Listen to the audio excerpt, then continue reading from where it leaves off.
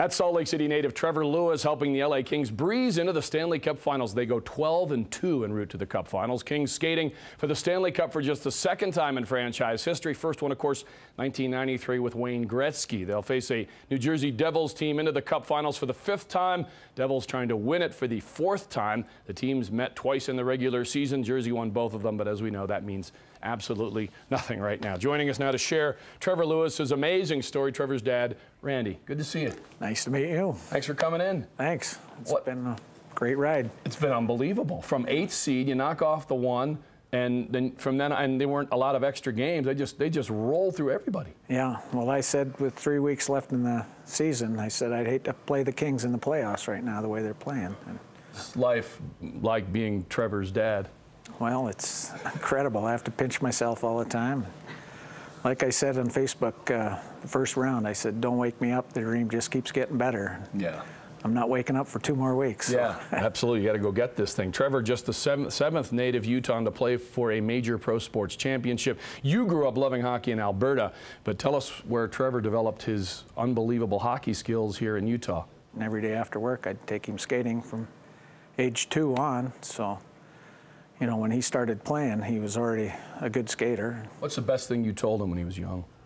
I was just glad that uh, he loved hockey because uh, if he didn't love hockey, he was going to hate life. So,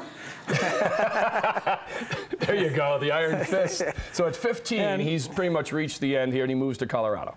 yeah, he had to leave town, unfortunately, to get scouted. And it's the hardest thing I ever had to do was leave him over there at 15. You know, I wasn't just losing a son, my best friend. So uh, it was tough, but it was the right thing to do, I guess. Here is your best friend. Talk about Stanley Cup karma.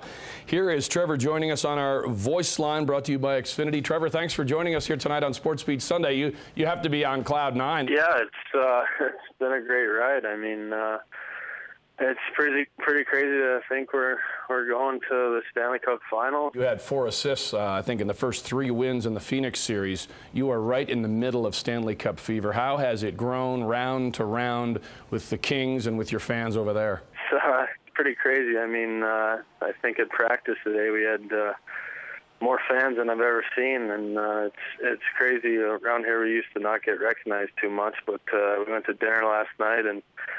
Uh, as we were walking out, everyone started clapping and chanting "Go Kings, go!" So it was it was, uh, it was a little different, but it's it's been awesome, and we're getting some great support out here. What has uh, Randy meant in your life? Uh, he's been great. I mean, he's been my coach my whole life. Uh, taught me everything I know about hockey, so it's been great and um, a lot of fun.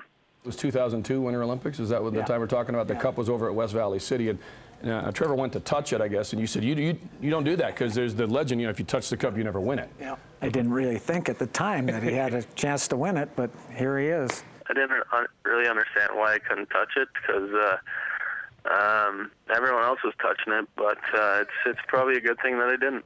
Four more wins, and uh, he'll be doing it for real. Yeah, is You that know, true? Not only that, he have his name on the cup. If they win the cup, I can ask you, will the cup come back here for the 24 hours that, that Trevor gets the cup? I'm not going to ask him because I know he won't address it, but will it come back to Utah? Yes, it will. It will. Yes. I may sleep with it, but It'll be you and some, a lot of people, huh? yeah. Trevor, best of luck. We'll be following you. Of course, uh, you have a, another fan base here in Salt Lake City and throughout Utah. Good luck against the Devils in the Stanley Cup Finals right here on NBC and KSL 5. Go get it, Trevor. Go Kings, go. All right, thanks a lot. All right, and then for you, sir, the folks Thank at you. Texas Roadhouse want to make sure you're well fed. We have uh, gift certificates for you to go get a meal.